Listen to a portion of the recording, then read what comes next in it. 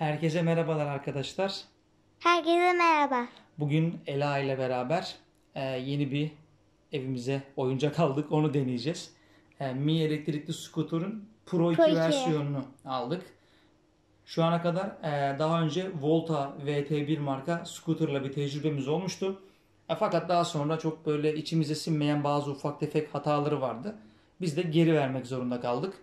Onun üzerinden yaklaşık bir 5-6 ay geçti.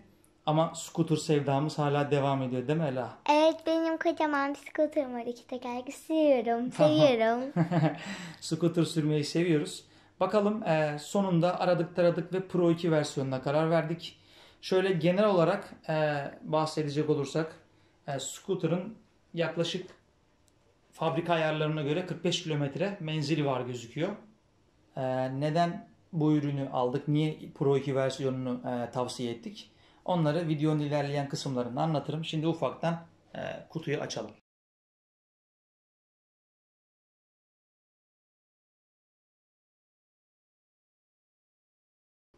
Kutunun ilk kısmını açtığınızda scooter'ı içeriden nasıl çıkarmanız gerektiğini gösteren bir talimatname yapmışlar. Önce buradaki köpükleri açacağız.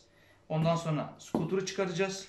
Scooter'ın gidonunu dik kısma getirip kilitleyeceğiz. Ondan sonra frenin ve gazın olduğu e, ellerimizle tutunduğumuz kısmı sabitleyeceğiz ve o kısımları da vida ile beraber tutturacağız. Bunu da böyle açılışta hemen size bir talimatname olarak bildirmişler. Şu kısımda arkadaşlar e, kullanma kılavuzu ve de e, gidonu sabitlemek için verdikleri vidalar ve vidaları takmak için de bir tane e, alet mevcut. Bunu birazdan kullanacağız. Gösterdiği üzere önce bu koruma köpüklerini çıkarıyoruz. Daha sonrasında şu burayı bir sabitlemeden şöyle şu şekilde kaldırıyorum. Skuterimize. Şurada bunu çıkarmam lazım önce. Bir tane Lastik. yedek lastik var. Ne olur ne olmaz diye. Oo bayağı büyükmüş. Evet. Yedek lastiği nasıl takacağız, ne yapacağız bilmiyorum ama işte ne olur ne olmaz dursun. Ve geldik asıl Scooter'ımıza. mevzuya. Aynen. Bunu şimdi buradan çıkaracağım. Çıkarırken biraz zorlanabilirim. Çünkü 14 kilo ağırlığında.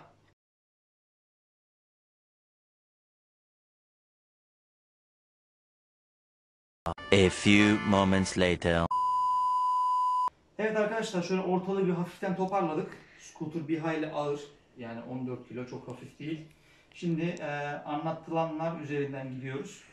Öncelikle şu gidonu bir dikip şu kısımdan kilitliyoruz. Gel Elçin yakından göster şurayı.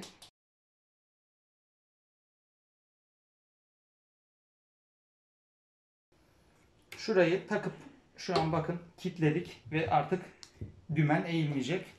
İkinci aşamada arkadaşlar şu fazla olan kabloyu iç kısma iteceğiz. Ve de dümeni sabitleyeceğiz. Şöyle zaten içine ittirdiğimizde bakın oturuyor. Şu an böyle. Böylece skuterimizi kolaylıkla kullanabiliyoruz. Evet şimdi geldik en son aşamaya. Sabitleyeceğiz.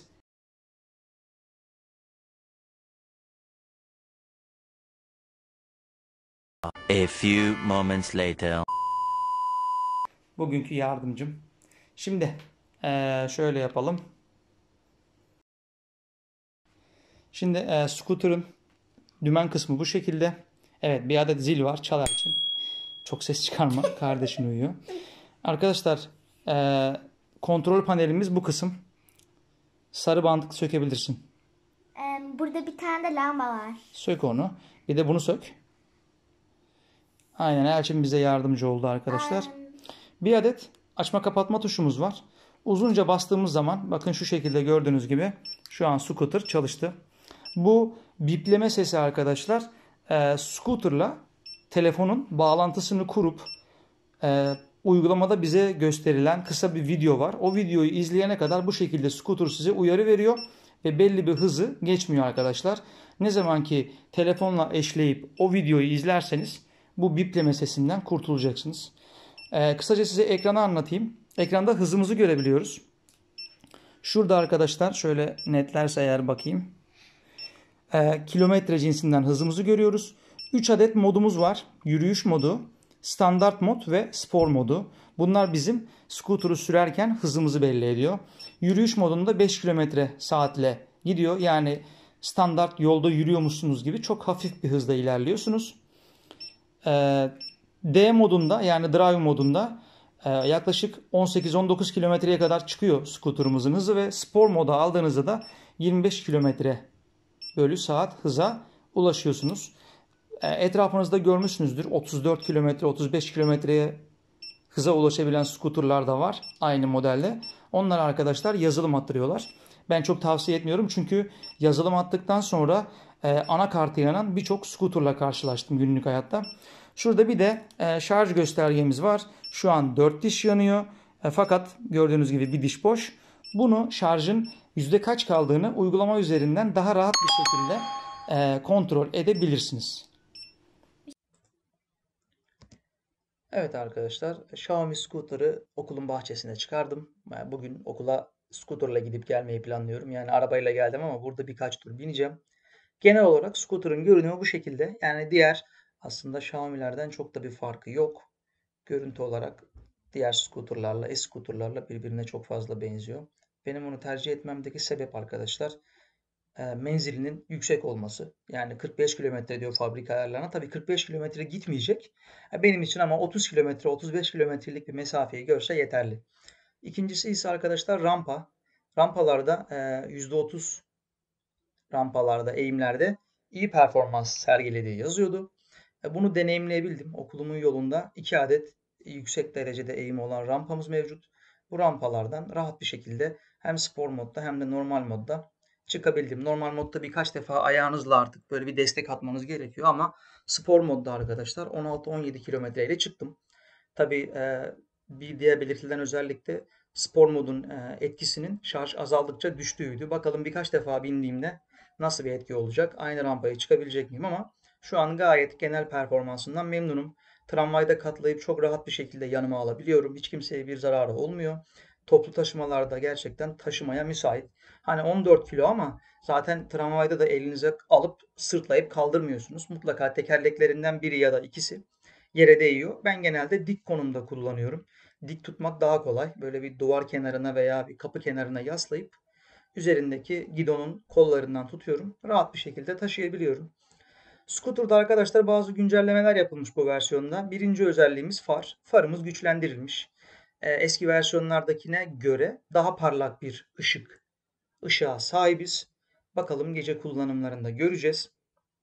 Bir diğer özelliği ise e, ön ve yanlardaki reflektörler bir önceki versiyonlarda sticker halindeyken bu versiyonlarda plastiğe döndürülmüş. Yani bu da tabii sizin görünürlüğünüzü arttırıyor. Sonuçta üzerinde can taşıyoruz arkadaşlar. E, yanlardaki ön yanlardaki reflektörler hala sticker. Onlarda herhangi bir değişiklik yok. Ama herhalde bir sonraki versiyonda onu da düzeltirler. E, bunun dışında gördüğüm yenilik olarak e, benim gördüğüm bir yenilik ne var arkadaşlar? Scooter'ın çamurluğunda sağ ve sol tarafa iki adet destek atılmış.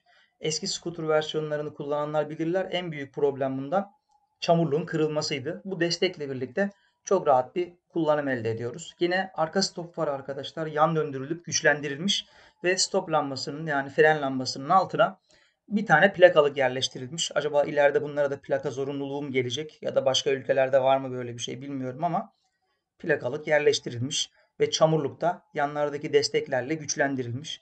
Bu sayede daha stabil ve daha sağlam olacağını düşünüyorum. Bakalım kullanacağız.